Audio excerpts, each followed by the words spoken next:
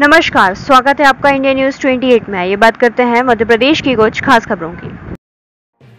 विदिशा के ग्यारसपुर में पत्रकार की हत्या के विरोध में पत्रकारों ने दिया ज्ञापन। ग्यारसपुर राजगढ़ ज़िले के सारंगपुर में पत्रकार सलमान अली की हत्या के विरोध में प्रेस क्लब ग्यारसपुर ने पुलिस महानिदेशक के नाम ज्ञापन ग्यारसपुर थाना प्रभारी सीमा राय को सौंपा। उल्लेखनीय है कि सारंगपुर में पत्रकार सलमान अली की गोली मारकर हत्या कर दी गई है, लेकिन आरोपियों की गिरफ्तारी नहीं हुई। ज्ञापन में आरोपियों की गिरफ्तारी एवं कड़ी से कड़ी सजा दिलाए जाने की मांग की गई है, एवं चेतावनी दी गई है कि आरोपियों की गिरफ्तारी न होने की स्थिति में प्रेस क्लब ग्यारसपुर उग्र आंदोलन करने के लिए बाध्य हो जाएगा। मौजूद रहे प्रेस क्लब अध्यक्ष डॉक्टर मजीद खान, आदेश जैन, अनीश खान मंसूरी, आसिफ खान, अभिषेक जैन, राघवेंद्र शर्मा, सीताराम कुशवाहा, मोनू शर्मा, पवन सोनी।